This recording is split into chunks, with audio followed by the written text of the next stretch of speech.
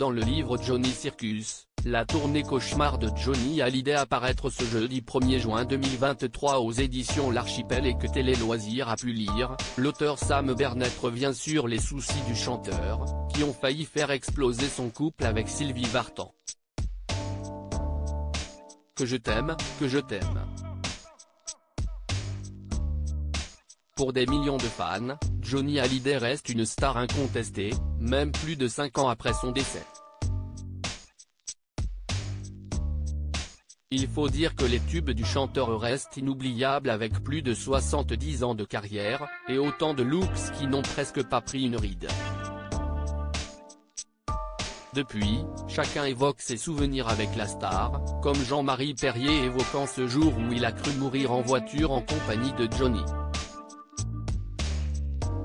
Laetitia, Jade et Joy, la vie sans Johnny évidemment, CIST avec un mélange de curiosité et d'émotion que le public scrute les nouvelles des proches du chanteur?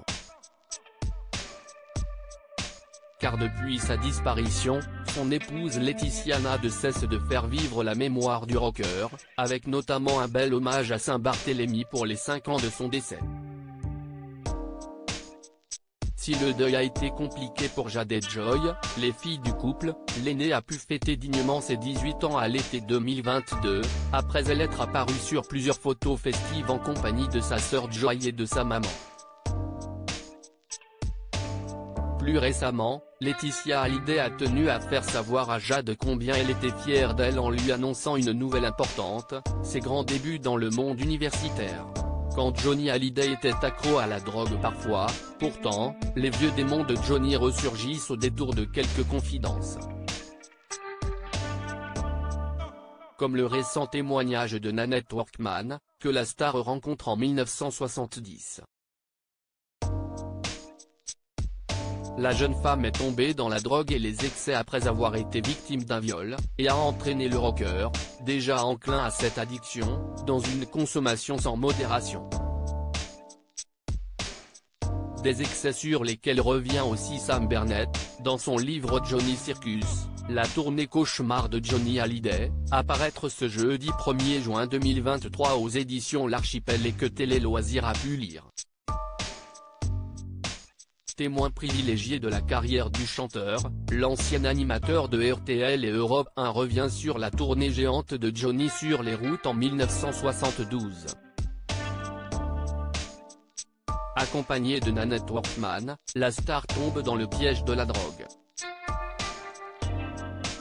Pour ne rien arranger, son couple avec Sylvie, Vartan, traverse une nouvelle crise depuis 6 ans, Johnny replonge dans la drogue et s'étourdit dans les bras de l'une de ses choristes, qu'il va suivre dans de bien mauvais tripes.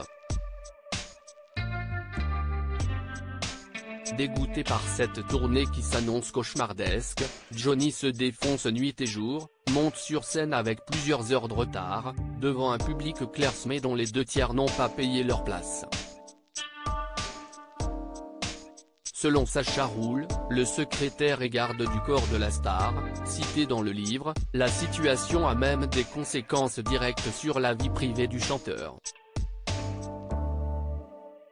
Les difficultés s'amoncelaient, entre autres les problèmes financiers, il avait les banques sur le dos tous les jours. Et puis il y a ces problèmes de couple avec Sylvie qui avait demandé le divorce.